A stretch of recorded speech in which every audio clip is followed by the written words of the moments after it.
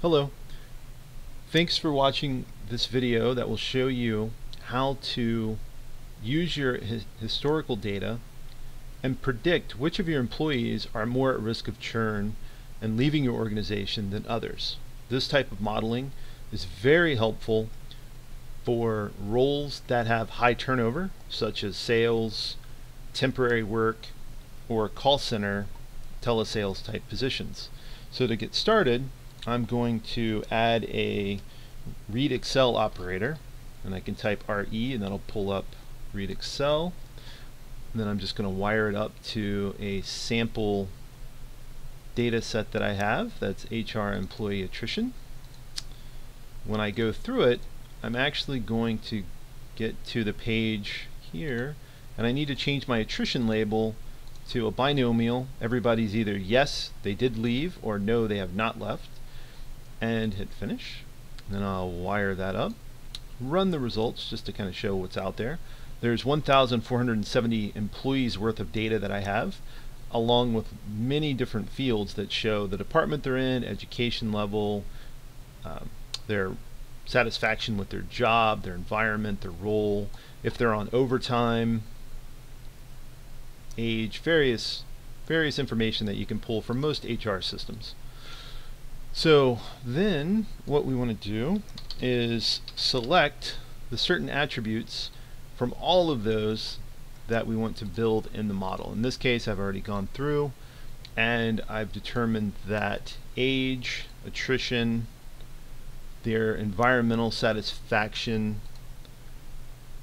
job level, let me pull those over and then if I go down I've got the monthly income, whether they're on overtime, their relationship satisfaction, stock option flag, years at the company, as well as years in current role are the fields that I want to use to build my first model. Next, I'm going to go through and do a correlation matrix, add that in, and I'll go ahead and wire these up and just get the results out there. Wait. Alright. So now when I run this, I have the weights of the correlation,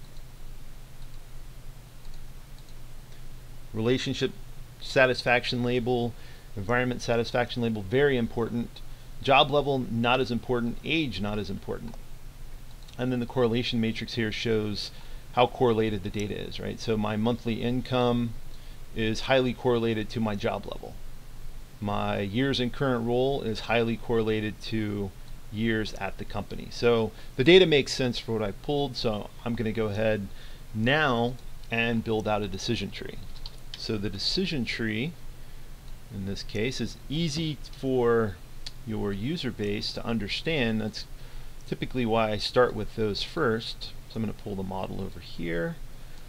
And in this case for my sample I'm going to use the Gini index I'm going to change my confidence level to 0.09, my minimum gain to 0.06, and then I've got uh, the leaf size to 4, minimum split to 8, and I'm just going to run my model.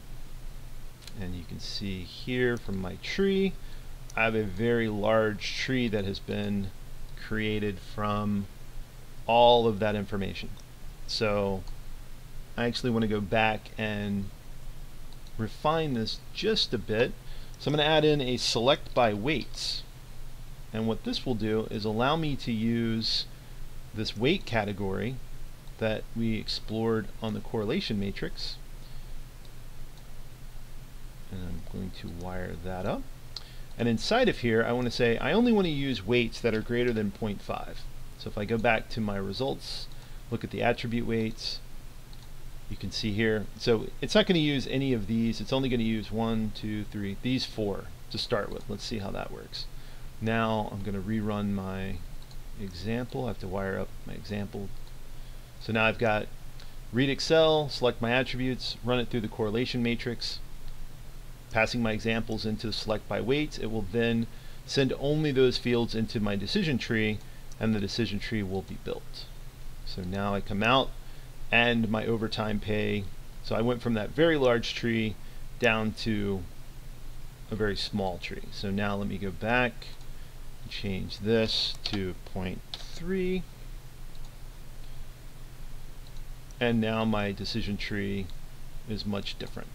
So that is one of the ways to um, explore your data, see see what's important, what's not important.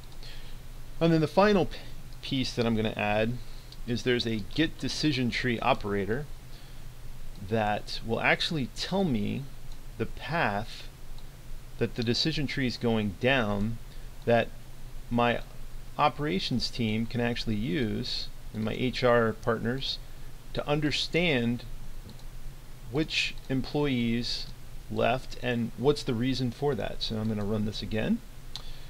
And you can see from the tree here, it's saying if you have overtime equals to no, then I have 944 people that have not left the company, but 110 did. If I come down the other other way and I look at my stock options are the next branch of the tree. So if I have stock options and my age is over 26.5, then I'm at a low risk of attrition.